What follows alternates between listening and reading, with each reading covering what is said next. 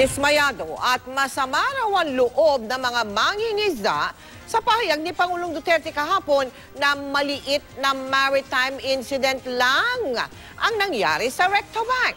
Mula sa Occidental Mindoro, nakatutok live si Marisol Abduraman. Marisol? Mel, masanga nga, masama nga ang loob ng mga mangingisda sa pahayag ng Pangulo dahil parang binabali wala lang daw ang pangbangga sa kanilang bangka ng isang Chinese vessel at tila ayaw daw silang paniwalaan ng Pangulo. and everybody. Pero yung, yung nangyari dyan sa Banggaan, that is a maritime incident. You do not send gray ships there. Banggaan lang ng barko yan.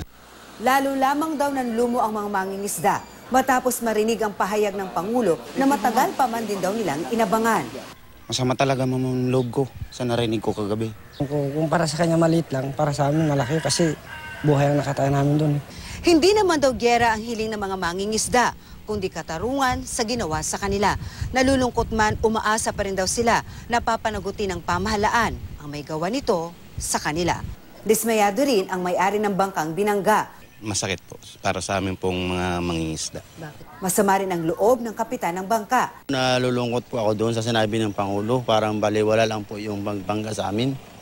Sabi naman ng Malacanang, Hindi naman nabaliwala. Kung nabaliwala yun, di sana hindi na sila tinutulungan. Tinutulungan na nga sila eh. Diba?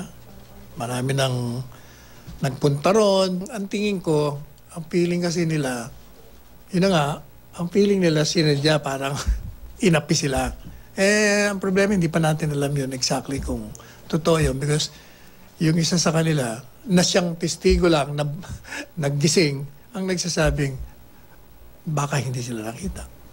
ang tinutukoy na testigo, ang cook ng Gemvir 1 na si Richard Blaza na nakausap ni Agriculture Secretary Manny Piñon.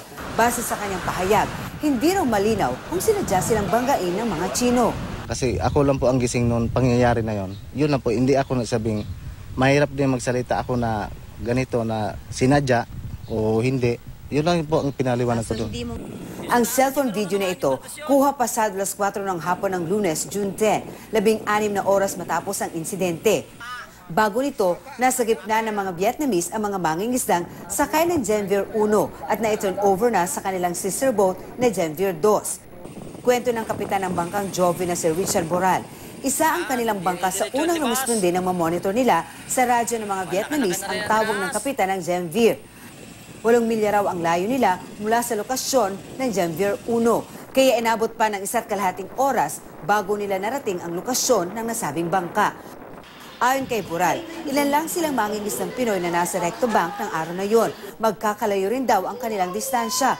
Kaya hindi raw totoo ang dating sinabi ng China na kinuyog ang fishing vessel nila. Wala pong ganong karami na magkakasama. Sila mga barko ang gamit nila. Kami, mga ano lang, kahoy lang ang gamit na bangka namin. Ayon pa kay Bural, ilan nga raw silang mga Pinoy sa mga Chino na ayon sa kanila ay barko na raw ang gamit. Lalo't minsan na raw siyang natutukan ng mga baril. Nung ano po, nung una, nung doon sa Union Bank na sinasabi, diyan po nakaranas ako ng, ano, ng harassment dyan. Biglang lumapit sa amin yung speedboat nila na may sakay na labing apat na tao.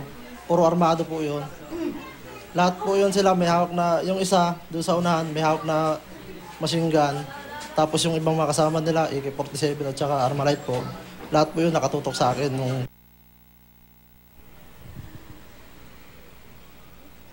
Sa kabila ng pagkadismaya at takot na baka maulit ang nangyari ano dun nga sa bahagi ng Recto Bank, tuloy pa rin daw ang hanak buhay sa karagatan ng West Philippine Sea. Pero sa ngayon daw, Mel, pagtutulungan na muna nilang maayos itong nasirang bangka. Mel. Maraming salamat sa iyo, Marisol Abduraman.